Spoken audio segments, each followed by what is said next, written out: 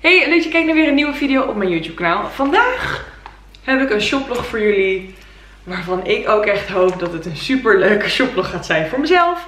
Want ik miste eh, het kringlopen heel erg. En ik dacht, ja, wat ga ik nou doen? Uit verveling heb ik ook wel een bestelling geplaatst bij ASOS. En ik heb voor het eerst besteld op Girl of zo. Nou, dat heb ik dus 8 april al gedaan. Nee, nee, nee, 4 of zo. En het is nog steeds niet aangekomen. En ik, overal komt in de winkels weer een nieuw seizoen. En oh, ik word zo getriggerd om nu weer allemaal fast fashion te bestellen. En daar was ik dus juist zo goed mee bezig om dat niet te doen. En toen dacht ik, nou, dan gaan we toch gewoon ouderwets op Marktplaats kijken. En ik heb 1, 2, 3, 4, 5, 6, 7, 8 dingen volgens mij. Zoiets. Um, op Marktplaats besteld. En ik moet jullie eerlijk toegeven, deze video wilde ik eerst anders insteken. Ik wilde eigenlijk drie outfits shoppen op Marktplaats doen. Maar ik merkte dat ik dat heel moeilijk vond. Dat het me dat niet gelukt is, omdat ik gewoon op zoek ging naar, ja, wat past er bij dit, bij deze broek bijvoorbeeld. In plaats van dingen echt op te zoeken die ik echt zou willen hebben. Dus ik ben wel een beetje slecht begonnen in de zin van, um, ja, op zoek gaan naar outfits. Die ik misschien dan toch niet helemaal goed zou dragen. Dus toen dacht ik, nee, we gaan gewoon thriften op Marktplaats. Ik doe even een tikje naar beneden, want... Ja? Ik ga beginnen met het grote zwarte pakket. Dit zijn namelijk schoenen. En het maakt niet uit als je mijn adres nu ziet. Uh, ik ga verhuizen. Vandaar dat het misschien ook wat... Hol, hallo, klinkt in huis, want er staat bijna geen type meer in. Ik begon namelijk met deze video omdat ik um, een vintage schoenenwebsite had gevonden retro, vintage. In ieder geval een uh, website die super toffe schoenen verzamelt en dus verkoopt. Opboets waarschijnlijk en verkoopt. En toen vond ik schoenen en toen dacht ik, oh die moet ik hebben. En ik heb ze 40 keer een mandje gedaan. En toen dacht ik, ja 100 euro voor tweede, derdehands sneakers. Ik vond het een beetje gekke werk. En toen dacht ik, ik ga op Marktplaats kijken. Eh, super leuke vibe. Echt schoenen waarvan ik dacht, ja dit zijn gewoon super vette schoenen. Maar eigenlijk zijn het gewoon hardloopschoenen. Dus ik ging kijken. Het is in een doos van Graceland verstuurd. Dat is toch gewoon van haren. Uh, ik ben heel erg benieuwd. Deze schoenen waren uh, bijna niet gebruikt. Misschien één keer op gelopen. Dus ik hoop dat ze zo geweldig zijn. Als ik dacht of als ik hoop. Wacht, laten we samen kijken. Nou, meneer of mevrouw zijn wel wat vaker gebruikt dan een paar keer. Maar ja, het is wel echt inderdaad de schoen die ik wel zocht. Die ik ongeveer, hij lijkt er ongeveer op, 40 keer in mijn mandje heb gedaan. Um, maar ja, hij is wel een beetje wat viezig. Maar ja, ik kan best wel poetsen. Dus dat gaan we dan ook gewoon doen. Uh, ja, maat 40. Dit is toch vet? Dit zijn gewoon die, die, die oldschool sneakers. Die uh, mijn vriend bijvoorbeeld heeft om te sporten. En ik liet ze ook zien en hij zei, dit zijn toch gewoon hardloopschoenen? Dat is toch hartstikke lelijk? En toen dacht ik, nee lieverd, lelijk is, is de nieuwe, nieuwe in. Dat is het al jaren.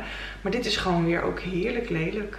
En voor deze schoenen heb ik, en ik ga de prijs even min verzendkosten doen. Want uh, je, je, ik zou ze ook kunnen ophalen of ik zou ze via uh, ik veel goedkopere pakketdienst kunnen laten verzenden. Ik heb het allemaal via PostNL. En ik wil trouwens wel even zeggen, mocht iemand nu die even, misschien krijg je die ene ziekte die nu uh, speelt, die ik niet ga noemen, want mijn inkomsten zijn echt aan het dalen, omdat ik het waarschijnlijk wel een keer genoemd heb of zo, of dat het opgepikt is. Um, deze dingen, alles heb ik al een maand bijna in huis. Dus ik heb het super lang in de berging gelaten, zodat er niks mis meer mee is, zeg maar. Dat mocht er al iets op hebben gezeten, dat dat er niet meer op zit of whatever. Ja, nou ja. Oké. En voor deze schoen heb ik dus 20 euro betaald. 20 euro. Ja, ik ben hier echt heel erg blij mee. Het is natuurlijk, uh, het zijn dus gebruikte schoenen, dat weten we allemaal. Maar ja, ik ga ook altijd naar de kringloop. Alles wat ik daar koop, heel mijn outfit nu is ook gewoon kringloop. De blouses van de mannenafdeling. En dit topje heb ik ook ooit een keer op de vrouwenafdeling gekocht. Dus ik ben daar niet zo vies van. Maar ik, uh, ik ben vet blij man. Ik, had dus, ik heb dus gewoon 80 euro bespaard hè. Maar dit zijn dus Asics hardloopschoenen blij ei dat ik ben. Die had ik dus nog besteld in het idee van ook een outfit. Daarbij had ik ook dit pakketje. En waarom, hoe weet ik wat dit is? Omdat uh, het uh, open stond. Ik hoop dat dit leuk is en past. Want ik zag nu ook eigenlijk, toen het een beetje open stond, dat het fluffy is. En dat had ik niet goed gezien. Ik had namelijk een rokje gevonden uh, met een zebra print. Nou, ik ging helemaal, oh, die wil ik hebben. Dus, dus toen uh, heb ik die uh, heb ik erop geboden. Uh, deze stond te koop. Want ik wilde eigenlijk al van screenshots nog van maken. Dat bedacht ik me na misschien drie dagen dat ik alles binnen had. Iedereen had die advertenties natuurlijk al verwijderd en weg. En je kan ze dan niet meer zien. Dat wist ik helemaal niet. Mijn marktplaats, ik, ik kan het niet meer zien. Ik kan ze niet meer bekijken, ik kan ze niet meer screenshotten. Het is gewoon verlopen, verwijderd, whatever. Dus helaas, mocht ik dit nog een keer doen, ga ik direct screenshots maken. Um, maar hier had ze, uh, deze had de dame voor 15 euro te koop staan. Dus ik bood 9 euro. En dan hoop ik gewoon dat we elkaar... Zij doet 15, ik doe 9. Dan hoop ik in het midden uit te komen. Ik wilde uh, 10, 11, 12 wel betalen ervoor. Um, en toen opeens zei ze... Nee, voor 20 mag je hem. Uh, toen dacht ik, hé, maar je had hem voor 15 erop gezet. Dus ik kijk op de advertentie. En toen stond er opeens 20 euro. Dus ik zei, nou heb je hem lekker duurder gemaakt? En zei ze, ja, eh, als, het, uh, als ik het ervoor kan vragen. Eindstand heb ik gecaved, heb ik er gewoon 15 euro voor betaald. Maar als dit een super mooi rokje is die goed past, vind ik dat niet erg. Want de zebra print, oh, we love. Toch? Nee? Ah, zit er nog bij?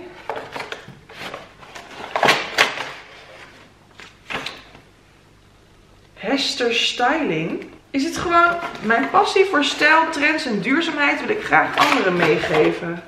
En een visitekaartje. Oh joh, dit is Hester Styling. Nou Hester, hestersnijders.com 0656. Nee oké, dat zou ik niet zeggen. Oké.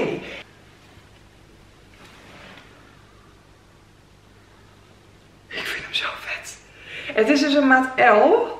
Ze heeft er ook een kaartje helemaal aangedaan. Oh, oh ja.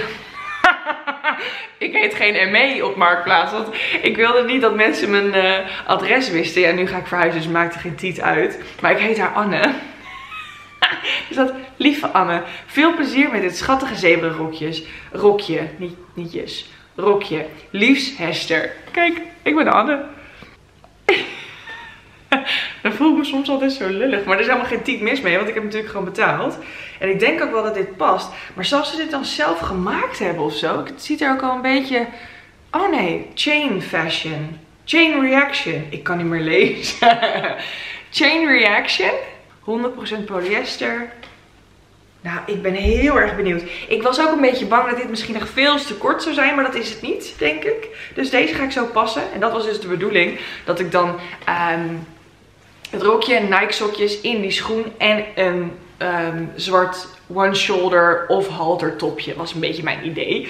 Uh, nu moet ik eerlijk toegeven dat ik niet weet waar het zit. Ik zal het wel bij elkaar aan gaan doen. Uh, maar we gaan gewoon naar het volgende pakketje. Ik weet niet wat het is. Anne van der Pijl. That's me. Ik heb uh, onder andere een jurk besteld. En ik heb een ribcage Levi's jeans besteld. Zo spannend besteld. Gekocht. Oh, dit is het jurkje. Ik vind dat zo spannend. Want zometeen past het helemaal niet. Daar heb ik 75 euro voor betaald. You never know hoe het gaat zitten. Maar dit is het volgende printje wat eruit komt. Dit is een jurkje.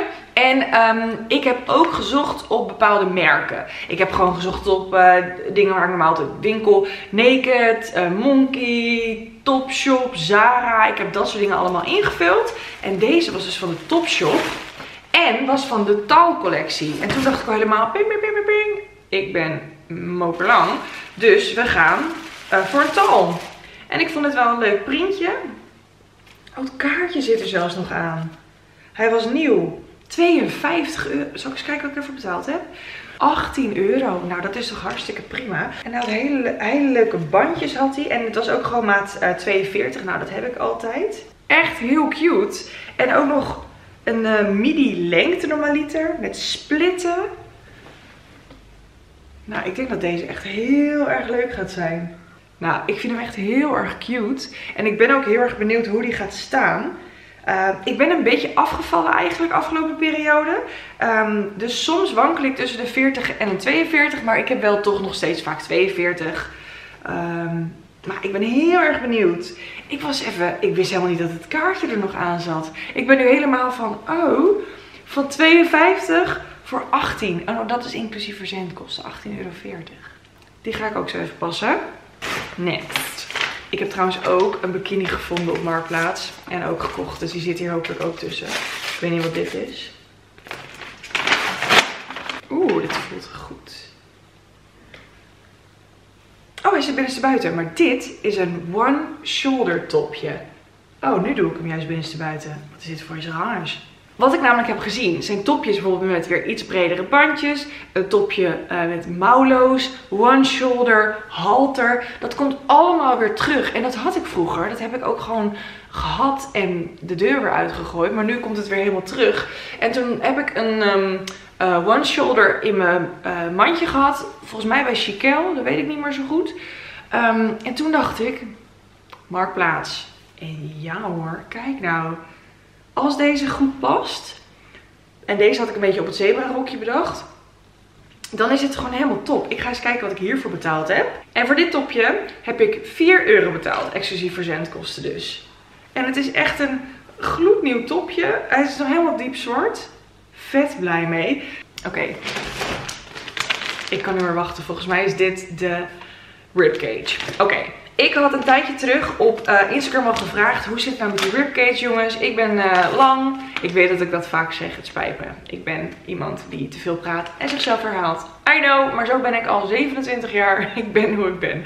Maar uh, ik had dus een beetje gevraagd hoe zit het bij jullie? Ehm, is het een aanrader? Bla bla bla. En ik had daar zoveel over ge, gesproken met mensen.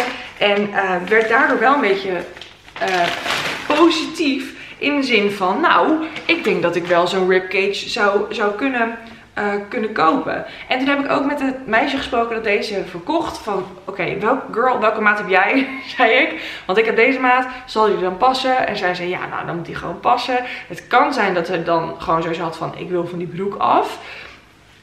Maar ja, dat kan, hè. Uh, maar ik had dus laatst ook in een... Het zit trouwens echt in een heel... Helemaal in een dustbag. Uh, ik had laatst een stijlquiz gedaan. En toen kreeg ik ook een ribcage jeans. Deze video. Ik zal het leuk vinden als je die zo meteen gaat kijken als je nog niet hebt gezien. En toen had ik hem dus twee maten groter dan had ik had besteld. En tot mijn genoegen zat hij veel te groot. Dus nu denk ik nog meer. Misschien past hij wel. Oh. Ja. En de ribcage jeans, dat zijn volgens mij 100, 120 euro, dat weet ik niet precies. En hier heb ik dus 75 euro voor betaald. En ze gaf aan, nooit gedragen. Zo ziet hij er ook echt uit. Ik hoop echt, misschien is hij wel gedragen, dat hij echt mooi zit. Het is echt qua kleur. Hij is zo high waist. Ja, dat is logisch omdat het een ribcage is. Ik hoop echt dat deze meer dan amazing is. Dat zou zo vet zijn. Hij ziet er dus wel een beetje klein uit. Maar ik hoorde dus van iedereen, en ik merk het nu ook een beetje, dat er wel goede stretch in zit. En vandaar dat hij dus ook blijkbaar heel mooi, bij je bil, heel mooi zit. Oh my god, ik hoop het zo erg. Oké, we gaan zo meteen echt naar alle aanbeelden. Volgende. Nou, dit is volgens mij het haltertopje. Ja, dit is het haltertopje. Volgens mij heb ik hier 2 euro voor betaald. Um, haltertopjes. Dat, dat is echt, dit is wel eentje van vroeger. Dat zie ik nu wel. Maar het is toch hartstikke cute eigenlijk. Ik ben trouwens een beetje bang hoe dit er nu uitziet. Dat het misschien een beetje groot is. Nou, we gaan het eventjes zien. En trouwens, ik wilde gaan voor of de haltertop of de one shoulder. Maar op een gegeven moment dacht ik, ja, ik ga gewoon op allebei een bot doen. Misschien hoor ik er niks van. En ik bood expres een beetje wat lager. Um, maar ze hadden allebei mijn bod geaccepteerd. En volgens mij, ja, ik vond het ook lullig om te zeggen, nee, laat maar. Volgens mij mag het ook helemaal niet. Um, dus heb ik ze allebei. Ik vind deze ook heel cool. Misschien wel leuk op de ribcage jeans.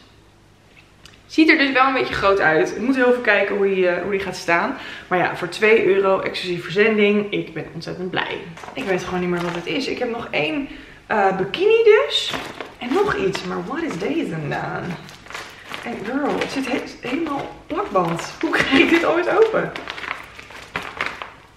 Oeh. Oh ja! Ja. Oké, deze was ik vergeten. Deze kan wel misschien leuk zijn met een haltertop ook. Ehm, dit was nog wel in de fase met outfits zoeken. Hier wilde ik eigenlijk een wit iets opzoeken. En wit vind ik trouwens wel een beetje lastig als je dat niet ziet. Omdat wit heel erg snel niet meer wit is of vlekkerig of whatever, zeg maar. Dus dat vind ik lastig. Ehm, maar ik vond deze linnenbroek van Zara. Dat was dus het moment dat ik Zara uh, aan het zoeken was, denk ik. Um, de Zara heeft namelijk de laatste tijd wat langere broeken. En op zich kan ik daar uh, qua broeken best wel goed slagen. Maar ook hier heb ik aan de verkoopster gevraagd. Hoe lang ben jij? Tot waar valt hij? Zij was 1,76 en hij was lang bij haar. Dus ik hoop dat hij bij mij ook zo uh, staat. Oh shit. Het lijkt op een low waist. Dat is naar. Want ik heb naar het labeltje gekeken uh, van Zara. Daar had ze een foto van geüpload. En dit was voor mijn gevoel een nieuw label. Uh, dat is ook wel een tip voor mij. Als dit bijvoorbeeld echt het oude Zara logo was, dan kon ik er weer eerder van uitgaan dat het echt een low waist was. Maar nu heb ik er helemaal niet over nagedacht. Maar dat lijkt ook helemaal niet zo, want toch, dit lijkt toch helemaal niet heel erg low waist. Misschien is het een miskoop. Maar uh, het is wel dus echt zo'n lekkere linnen broek. En ik heb er dus één gehad. En die heb ik weg moeten doen omdat de rits kapot was. Dus toen dacht ik, nou dan vind ik het wel leuk om een nieuwe te, uh, te, te zoeken naar een nieuwe. Uh, heel erg benieuwd ernaar. Ik denk wel dat als deze mooi staat, dat dit echt een topper is. Omdat hij qua stof, ja het is gewoon heel mooi. Dus hopen dat deze even een beetje mooi staat. En dan hebben we nog één pakketje en dat is de bikini ja, ik heb daar 9 euro voor betaald. En hij leek me gewoon zo vet. Dus ik ga even pakken. Ook weer helemaal plakband op elke hoek. Oh ja. Hij ziet er echt mooi uit, de print. Kijk. En waarom ik deze zo vet vond, is eigenlijk om het topje allereerst. Die zal ik even laten zien. Oeh, er zit vulling in. Kan dat eruit? Oh nee. Oh, wat ga ik er wel uitknippen, denk ik. Maar ik vond het topje zo mooi. En ik had echt zoiets van, nou, dit is nu zo'n gewoon soort van BH-achtig topje. Is helemaal hot and happening. En um, ik, de maat was, was top. Dus ik dacht, nou, dit lijkt wel, als ik hem pas, helemaal meant to be. Het broekje vond ik ook mooi. Die is wat groter, maar die zou je dan een beetje zo omhoog kunnen dragen ik zie wel dat het echt een beetje zo'n grote, grote bil is, zeg maar. Dus... Oeh, ik moet even kijken. Ik denk dat misschien een oplossing zou zijn als ik hier een beetje elastiek plaats. Dat het een beetje omhoog en opzij gaat. Dus dat het een beetje bijvoorbeeld wat meer vorm krijgt. Het ziet er namelijk wel erg groot uit. Maar op de foto leek het net alsof je hem een beetje high waist kon, uh, kon dragen. Dus dat lijkt me wel heel erg leuk. Oeh, en dat stinkt. En um, ja, ik, ik ben blij. Dit is, dit is de, de push-up, zeg maar. Dat ik die eruit kan uh, knippen. Want die is echt zo los. Um, dus nice, dat ga ik even allemaal uh, passen. Um, ik zat heel erg in dubio met mezelf van ja, ik ga wel eerst alles wassen, dacht ik. Maar aan de andere kant, in een kringloop pas ik het ook altijd gewoon. Dus ik ga het gewoon lekker meteen passen. En trouwens voor de bikini, en dat wil ik je aanraden voor waar je dan ook naartoe gaat. Ook in winkels, uh, kringloop, sowieso een kringloop, maar ook nieuwe winkels om gewoon je eigen ondergoed aan te houden. Dat is gewoon super hygiënisch. Stel je wil dat broekje niet, doet hem uit en gooit hem weer in de winkel. Iemand anders nou ja, het is gewoon niet helemaal lekker, weet je wel. Dus draag daar gewoon lekker je eigen ondergoed lekker onder. En um, ik ga het eens even passen. En we gaan het gewoon doen in een spiegel op de gang. Want ik heb geen uh, vloer meer boven. Ik heb helemaal niks meer boven. Ook geen spiegel meer, niks meer. Dus we gaan het eventjes hier met de spiegel doen. Dus ik hoop dat we het allemaal goed kunnen zien. En ik ben heel erg enthousiast. En het meeste ben ik echt helemaal mm, voor een ribcage jeans. Ik hoop echt dat die past. Ik heb wel echt veel gegeten vandaag. Dus mijn buik zit al lekker... Oké, let's go. Oké, okay, ik wilde heel veel snel mijn eerste reactie filmen. Ik vind hem fucking geweldig. Ik weet niet of je het kan zien, maar hij is inderdaad een beetje fluffy. En ik dacht dan, shit, dan is hij zo groot of dat zal je dan zien. Maar oh my god. Hij is fucking leuk. Oké, ik ben super blij echt heel erg leuk. Ik heb wel, ik heb geen strapless BH aan. Dus hier zit het bandje nog en deze heb ik erin gepropt. Dus ik krijg een beetje uneven boobs er altijd door. Deze is nog meer gelicht dan die. Dus het, Ja, ik weet niet of je het op camera ziet, maar het ziet er een beetje scheef uit. Maar echt heel blij mee. Ook wel leuk bij elkaar. En um, dit stofje, ik weet niet, het is echt heel erg lekker. Um, hij stond als uh, M op Marktplaats. Maar ik had dus gewoon gezegd van, goh, hey, ik, ik, ik zit tussen ML in. Uh, is het een beetje stretchy, dus het was heel stretchy, gaf ze aan. En daardoor weet ik dat ik hem paste. Dus uh, mijn tip sowieso is echt vragen aan de verkoper. Hoe die past, hoe die staat, hoe die bij haar valt, welke maat zij heeft. Dat is gewoon helemaal prima om te doen. Ik denk dat die mensen heel graag die vragen willen beantwoorden. Om dan maar hun spullen natuurlijk te verkopen aan jou. Maar kom op, dit is toch fucking fucking leuk. En dit soort rokjes zijn nu helemaal in. Oké, schoenen. Oké, ik weet dus niet wat mijn gedachtegang was om dit echt als set te dragen. Omdat deze strepen, die strepen het gewoon niet helemaal zijn, denk ik. Dan wil ik gewoon kan ik beter ook zwarte, zwarte sneakers zullen dan perfect zijn. Maar, wacht even, hoe gaan we ze kunnen zien? Ik vind ze super vet. Echt heel vet. Ik ga ze zo meteen nog even onder die ribcage aandoen. Maar ik ben echt heel blij. Tot nu toe dus alle drie de items helemaal top. Ik vind ze echt heel erg cool. Ik ben er heel blij mee. Blij dat ik het heb gedaan. Oké, dit is het jurkje. Ik moet eerlijk toegeven, ik vind hem verschrikkelijk. ik vind het printje echt toch wel heel erg cute. En hier dit aan de bovenkant I'm sold. Maar de splitten, dit zijn er dus drie. Dit zijn het gewoon stoflappen, zeg maar. Ik vind het gewoon alsof hier, of je hier gewoon een strikje in moet maken of zo. Ja, ik vind het niet. Nee. Qua lengte is hij dan wel weer echt ziekelijk mooi. Maar dit is, zeg maar, mijn kruis zit echt hier. Dus dan, oeh, nee. Nee, echt. De bovenkant, zou ik er iets mee kunnen doen? Zou ik hem gewoon... Kan ik hier een shirtje van maken? I don't know. hier past hij en staat hij gewoon echt super leuk, vind ik. Ook met mijn sieraden zo. Ik vind het wel heel erg leuk, maar ik weet niet... Wat vinden jullie? Het is ook nu natuurlijk een beetje kreukelig. Kreu, kreukelig. Maar... Hmm, ik denk dat dit toch een miskoopje is. Mocht je hem leuk vinden, blijf dan vooral kijken trouwens. Van dingen die ik niet hou. Vertel ik je aan het einde mee wat ik ermee doe. Nu naar het volgende item. Oh, de ribcage met de haltertop. Toch een beetje outfits aan het doen, hè? Oké, ik wil heel veel zeggen. Ik heb mezelf ook nog niet gezien. Maar de broek past perfect. Oh my god. En het topje trouwens ook wel. Alleen het is echt die old school met dat, ik weet niet of jullie het kunnen zien. Met dat zo eronder. Dus die moet eigenlijk, moet dat helemaal hier. Maar dan is dit wel heel heftig. En mijn BH heb ik nog niet weggewerkt. Maar die broek. Ik ben helemaal verliefd. En hij is dus ribcage, dus maat 29. Maar ik vind het echt helemaal prima. Ik ben helemaal blij. Voor, ik heb nog even teruggekeken. Voor 70 euro. Niet voor 75 euro. Dus voor 70 euro. Dus volgens mij, ik weet nog niet of die broek 100 of 110 is. Of misschien zelfs 120. Maar laten we erop houden dat hij bijvoorbeeld 100 is. 30 euro korting op een nieuwe broek. Want hij is echt, voelt gewoon helemaal als nieuw. Helemaal content ben ik. Het topje ben ik ook wel blij mee. Ik ga even die BH-bandjes even wegwerken. Wacht. Ja. Helemaal happy de peppy. Dit was volgens mij dus 2 euro hè, toppie. Nou, echt heel blij. Heel de grap is dus dat ik die ribcase jeans echt honderd keer in mijn mandje heb gedaan. Zo'n haltertopje of een one shoulder super vaak in mijn mandje heb gedaan. En nu heb ik het gewoon via Marktplaats voor echt gewoon een peulenschil. Oeh oeh. Oké, de broek is geen low-waist broek. Maar ik had wel verwacht dat deze broek wat... Hier is mijn navel trouwens. Maar ik had verwacht, uh, maar dat is dan een beetje mijn eigen verkeerde inschatting... dat dit een, um, geen strakke broek was aan de bovenkant. Dat hij gewoon lekker linnen wijd was. Want dat was de broek die ik dus had, die ik nu niet meer heb.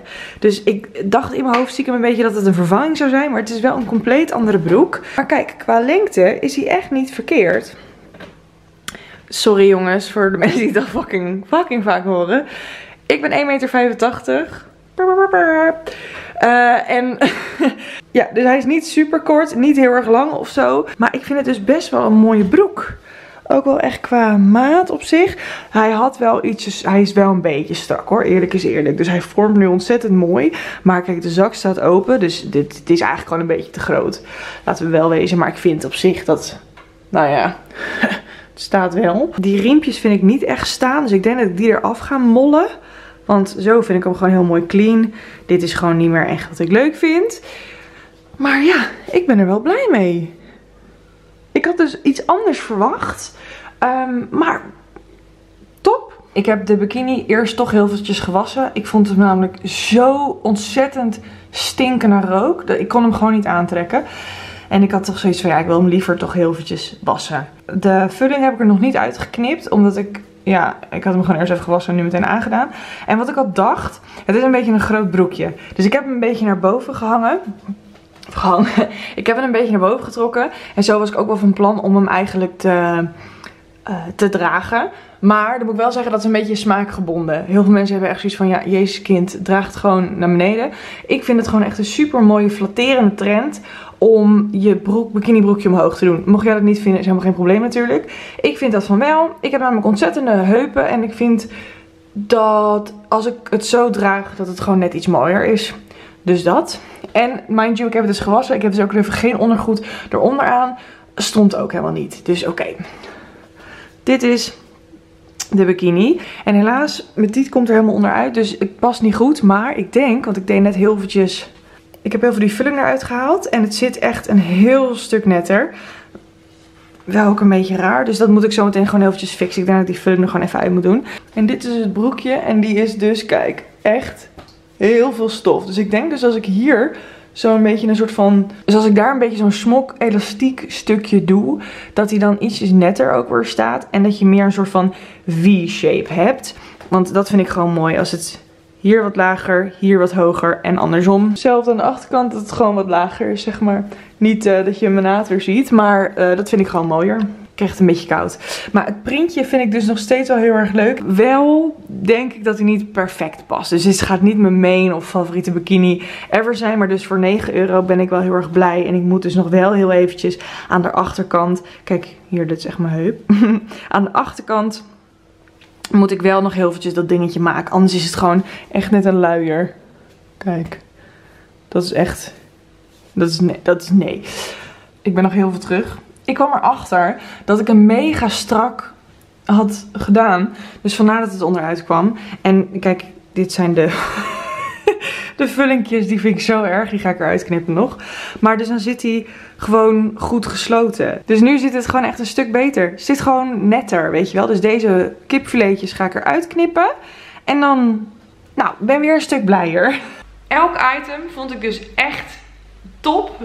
Behalve deze jurk natuurlijk. Dat is natuurlijk wel een beetje jammer. Het is denk ik niet echt een miskoop. Omdat ik natuurlijk, uh, hij past gewoon goed. Maar ik vind hem gewoon niet super mooi, zeg maar. Het is niet dat het echt een heel lelijk iets is of helemaal kapot is of whatever. Uh, hij is gewoon nog steeds helemaal nieuw met zelfs nog een... Uh, oh, ik wilde zeggen reserveknoop. Oh wel, ja, met een reserveknoop zelfs ook nog. Dus, wie wil deze hebben? Laat even in de comments achter uh, of je hem wil hebben. Je hoeft er helemaal niet heel gek iets voor te typen uh, of whatever. Ik zou het leuk vinden als je abonneert en als je misschien uh, de video liked. Maar als je hem wil hebben, moet je dat eventjes gewoon laten weten. En dan stuur ik hem gewoon naar je op, naar een van jullie. Ik ben super enthousiast.